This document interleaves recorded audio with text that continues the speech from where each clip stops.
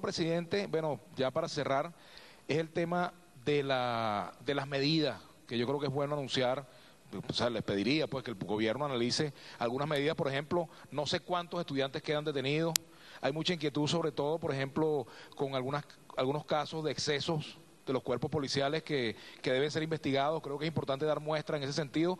Lo que yo llamaba, presidente, la prueba de amor. Creo que es importante que aquí el país dé pruebas de amor mutuo en ese sentido, ¿no? Señales, por ejemplo, la violencia, hay que deponer la violencia, pero también hay que dar respuesta a las inquietudes. Entonces, creo que es importante que, en estos espacios lo abordemos. Y bueno, por supuesto, facilitar, presidente, la comunicación con gente que no está hoy aquí, hacer posible que quienes no estén puedan estar, más allá de las causas por las cuales no quisieron venir, pero bueno, que estén presentes, creo que eso es fundamental.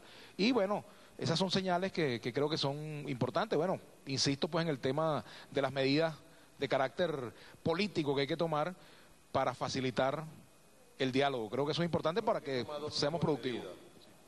La primera medida, una medida para que traigan algo para comer porque aquí nadie ha almorzado y poder sobrevivir. La primera prueba de amor va a ser unas galletas, una torta con un café.